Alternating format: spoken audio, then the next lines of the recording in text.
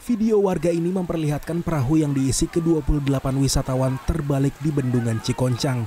Warga dan pengunjung lain yang berada di dekat lokasi kejadian berusaha menyelamatkan satu persatu penumpang yang kebanyakan berisi anak-anak. Situasi penyelamatan berjalan dramatis karena para penumpang meminta diberi pertolongan lebih dahulu. Namun sayang dari 28 wisatawan yang sempat tenggelam, tiga meninggal dunia. Sementara satu korban hilang masih dalam pencarian. Warga di lokasi menyebut kondisi cuaca sangat buruk saat itu. Hujan deras diduga yang membuat perahu tidak bisa dikendalikan hingga akhirnya menabrak tanggul dan terbalik.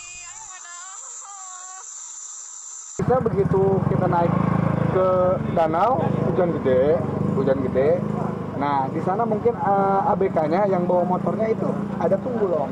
Ada tunggul, ketabrak. Jadi posisi perlu oleh, berhubung yang naik itu anak kecil kan, hilang keseimbangan. Sebuah minibus berisi satu keluarga terjun bebas ke sungai Warudoyong di Rengas Dengklok, Kabupaten Karawang, Jawa Barat, minggu malam. Para penumpang minibus berhasil diselamatkan warga yang sedang memancing dengan memecahkan kaca pintu depan. Diduga sang sopir tidak dapat mengendalikan mobil hingga akhirnya terperosok ke sungai. Petugas yang mendapat laporan langsung menuju tempat kejadian perkara dan mengevakuasi kendaraan tersebut. Evakuasi membutuhkan waktu hingga dua jam karena lokasi yang sangat sempit.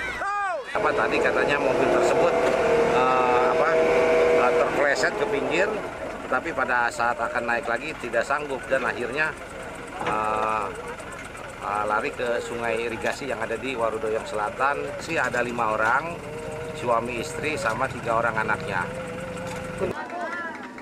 Tidak ada korban jiwa dalam kecelakaan tersebut. Sementara kerugian ditaksir hingga puluhan juta rupiah. Tim Liputan CNN Indonesia.